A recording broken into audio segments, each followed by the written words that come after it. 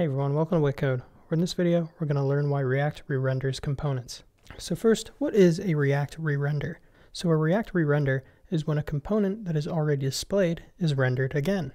The core reason for every re-render is a state change. React re-renders components to keep the UI in sync with the state. Therefore, when the state of a component changes, the component is re-rendered to match the UI of the new state. So let's just create the cookie cutter count and set count example here. And here, whenever this button increment is clicked, we're going to change the app component state, this count variable here, which will cause it to re-render. So when we click increment, notice how rendering app is logged again, which means essentially this function is being ran again because the component is being re-rendered. And the reason it's doing this is because when the state changes, React wants to re-render the component so that the UI, which we can see changing here, matches the new state. And now there are also some rules with, there are also now there are also some other rules when it comes to re-rendering, and one of them is that when a component is re-rendered, so are all of that component's child components. So let me paste in some more code to display this. Now what we have here is we have two components. We have our app component, and a child component of this app component is this counter display component, which is right here. The state is still within this app component, and whenever we click this increment button right here, once again, it'll set the count, which is then passed to this counter, and then logged out here. But basically what I'm going to show you is how both of these components, so if we change the state, notice how both the app component is being re-rendered as well as its child component, the counter display, even though the state is on the parent component or the app component. And so you may be thinking that this is because the counter display is receiving a prop of count right here, which it displays, but in fact, even if a child component does not receive any props, it will still re-render. So now let me add another component where this one doesn't even have any props given to it. So we have here our app component, and then we have a no props component, and then our counter display again. And notice how both the props component and the counter display are children of our app component. And when we increment the counter this time, notice how both of them are being re-rendered. Even though this one no props component isn't receiving any components, it's still being re-rendered because its parent component, the app component, is re-rendering.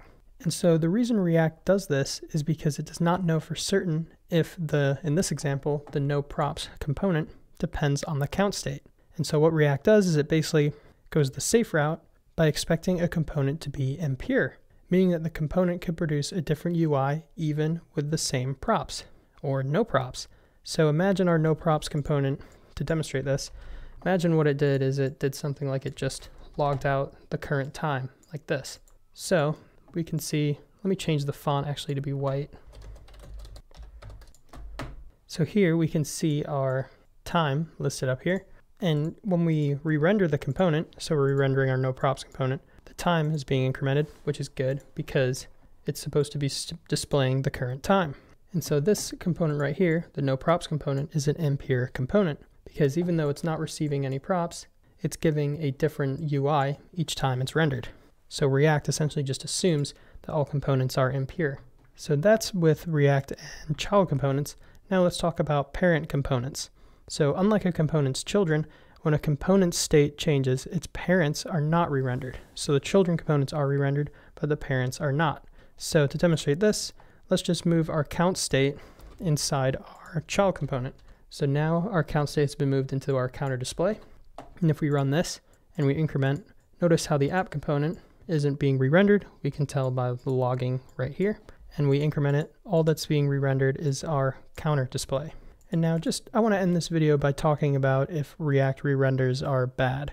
So React re-rendering is not inherently bad as it's often necessary because we need to sync our UI with our new state. And furthermore, re-rendering is actually a lot quicker than a lot of developers think. However, the unnecessary and frequent re-rendering of large components can cause performance issues. But in those instances, you can use things such as memoization, which I have separate videos on that. But say we wanted to memoize this component, we could do something like this.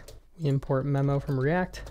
And now let's say we re-render this. Note how the no props component isn't re-rendering each time we click it because we've memoized, which is in a way telling React that this is a pure component and it'll display, if the props haven't changed or are the same thing, then it'll give the same output.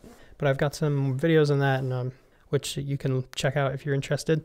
But this is all there is to re-rendering in React. if you like this video, please consider supporting me by downloading my Chrome extension called Witceptor. But besides that, thank you for liking and subscribing, and have a good one.